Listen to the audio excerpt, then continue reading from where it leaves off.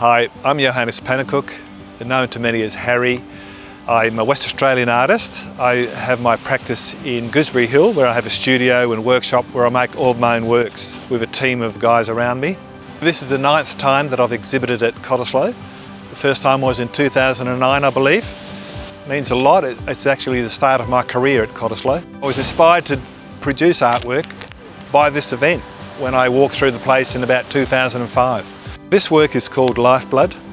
It was inspired by the rivers and tributaries like the Swan River. I took up a 2D look at the river and I brought it to a 3D form, ending up in like a serpentine shape.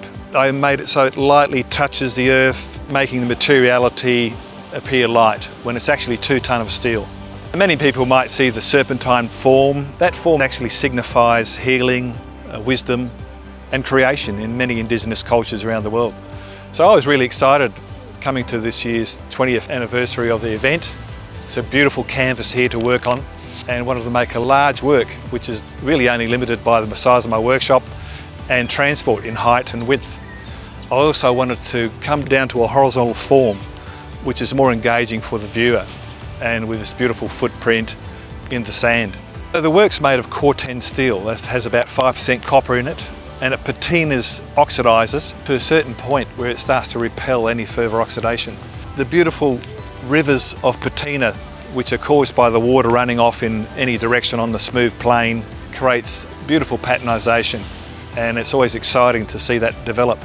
At Cottesloe this will develop differently as the salt settles on it and the rain washes it off. You've got this lovely river of patina running through the Corten and being such a serpentine shape, it's representative of rivers and tributaries. And of course, you know, they're the lifeblood of the planet. The kids, as they turn up here for the school tours, walking around it and, and amongst it, there's people getting under the shaded areas. I think it's great engagement. When it was finished and I saw it on the property, every time I drove toward it, just put a beautiful smile on my face.